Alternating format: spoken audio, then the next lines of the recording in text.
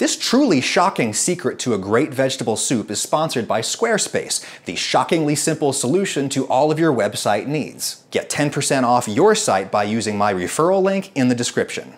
Okay, if you want to make a great vegetable soup, the first step is to chop up some form of onion. I'm using a shallot. And then you gotta slowly caramelize this for half an hour with a star anise. This creates umami sulfur compounds, something something molecular gastronomy. And no! Just chop it up and put it in a pot with some water and boil it! That's the secret. Then you peel a carrot, you chop it up into little pieces, and you boil those too.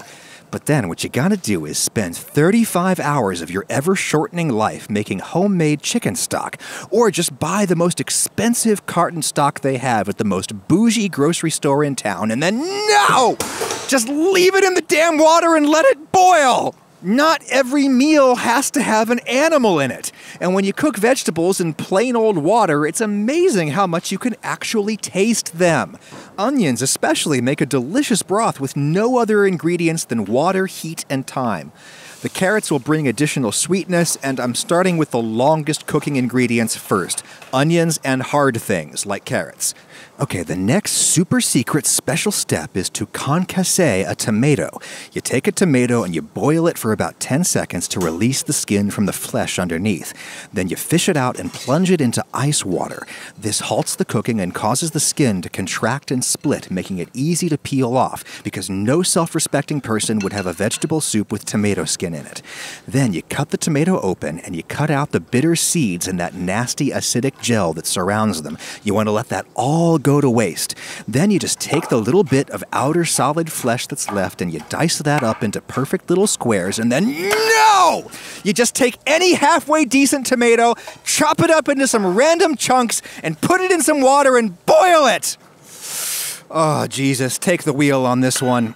Look, I'm not saying that you'll never want to take the skin off of a tomato, but in the soup, who cares? It's one tomato. There just won't be that much skin in there. Nobody will notice, and if they do, they won't care. Besides, the skins are rich in lycopene, a great antioxidant, and they're filled with pectin, which will thicken your soup as it cools. And the whole seeds and gel thing, I use tomatoes because they're acidic. I want acidity in my food. Why would I cut it out? And I don't know, maybe the seeds are bitter in sufficient concentration, but not in a vegetable soup. Just chop it up into some random chunks and boil it already. I usually do this after I've got all the hard ingredients in the water, and that seems to give the tomatoes the perfect amount of cooking time to fall apart while still retaining some freshness. Now, the next secret is to grab some white wine. This will add fruity sweetness and acidity to the broth while also extracting alcohol soluble flavors from the vegetables. And no, actually, uh, yeah, that's totally something that I would do. It tastes great and it really compensates for the lack of animal broth if that's something that you want to avoid. If you don't want to use alcohol, I would recommend a much smaller quantity of white balsamic vinegar, just a splash at the end to taste. After the hard vegetables have been cooking for about 20 minutes, I usually put in some form of cabbage. This is Tuscan kale. You could use any brassica, but what's great for soup is a kind with crinkly leaves. These deliver much more broth per square inch to your mouth, which gives them a really satisfying, kind of juicy texture in the soup. Savoy cabbage is also great for the same reason. I'm just chopping those up into little ribbons, and in it goes. The other ingredients could cook forever, but brassicas I think get a little nasty when you overcook them, so we're kind of on a timeline now. I cooked those for about 10 minutes. This is looking a little too thick to me, more like a stew than a soup, but you can always add water. You can't take it away. So I tend to lean on the side of my soup being too thick until I'm ready to make final adjustments. Then I go and chop up some garlic. I'll turn the heat off and throw this in at the very end to preserve its pungency. That's kind of a classic minestrone technique, fresh garlic right at the end. I also like to dump in some frozen peas at the end. Frozen peas are delicious and sweet and convenient. They add bright green color to compensate for the fact that the cabbage has gone a little bit brown by now. Also, the fact that they're cold will help to cool this soup down to eating temperature faster. Water stores an incredible amount of energy. It takes a long time to cool down, which is important for not only, you know, not burning your mouth, but also because the dissolved pectins in the broth won't start to thicken things up until this cools down a bit. I can also add some cold water to cool things down. As I said, this looked like it needed a little bit more water to me.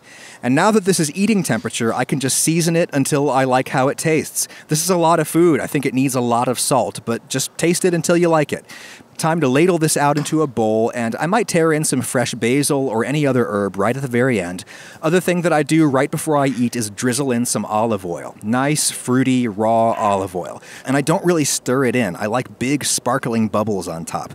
Not only does this taste amazing, but it helps your body to absorb the fat soluble vitamins in the veggies. That is so good and comically easy and cheap. For 20,000 years since the advent of water safe pottery, I'm willing to bet you that the single most popular recipe for food has been take whatever you have, boil it in some water for a while, and then eat it. It's a classic because it works. And when you're cooking for yourself, there's no extra points for a degree of difficulty. And you know what? Maybe it's just a placebo effect, but this is so good for me that I feel better immediately after I eat it.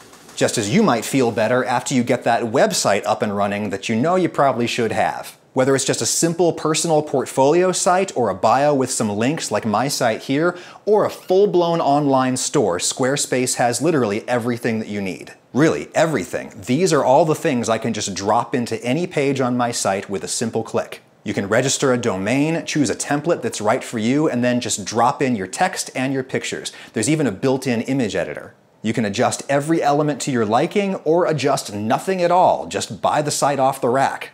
Actually, it's free to start building a site at squarespace.com. But when you're ready to publish it or buy a domain, just tell them I sent you and you'll get 10% off. You're a grown person with important things to do. There's no honor in building a website the hard way, just as there's no honor in making your own dinner the hard way. Just chop it up, put it in some water, and boil it!